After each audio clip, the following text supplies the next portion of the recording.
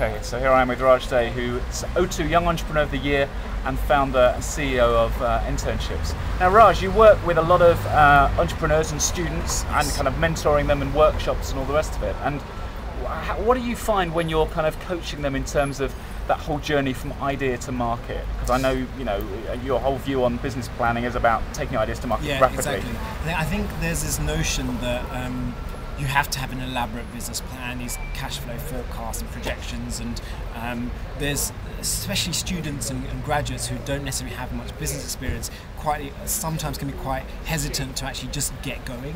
And so what I say is look you don't have to have all the answers from day one especially if you've got an, an internet startup or a web-based business where the barriers to entry are very low the startup costs are low there's no harm in just doing it. Learn by doing iterate get the product out there get feedback from the market and find out what's working, what's not working.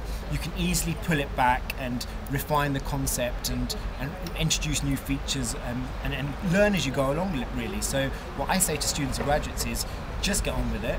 Don't waste time. Now is the best time to be starting your own business, especially in downturn and the recession where you might not have the, the corporate job that you've been looking, you thought you wanted to go into. Why not turn towards entrepreneurship?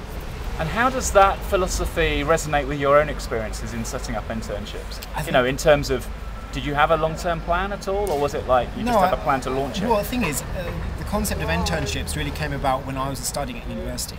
Um, I used to run Oxford Entrepreneurs, which is a society of student entrepreneurs at uni, and startups and small businesses kept approaching me, wanting to reach out to talented students and graduates. So I set up a listing site um, and it, wasn't intending to, to become a business at the end of it, but 200 companies put roles on that website. And then I realized after graduating hang on there's something here. But rather than think about oh let me now do a business plan what I decided to do was let's create a portal which actually goes beyond students at Oxford, can connect startups and SMEs around the world to students and graduates. And I'm, I'm learning as I go along what's working, what's not working. We're not currently charging companies, but I'm speaking to our customers and finding out okay, do they value a service like Enternships? How much would they pay, if anything, to use a site like ours? Okay. And actually, I'm finding that other opportunities are coming my way, which I'd never foreseen. I couldn't have envisaged it happening if I had planned it in advance. So I think my philosophy is very much as, as I mentioned is just start doing it and opportunities will become clear and then you'll learn